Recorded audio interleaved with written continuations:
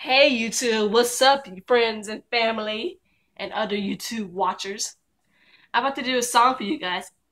And this song is kind of inspired by memories that you've had with people that you really wish that you could just relive. So, I don't really have an exact song title for it, so I'm just going to call it Flashback Memory. And I wanted to do this song because I found a lot of memories that I had I wanted to really relive. Hence the name Flashback Memory.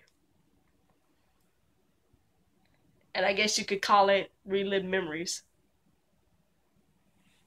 So here it goes. Sorry about the lighting if it's super bright. I tried to get y'all some light and it may not be perfect.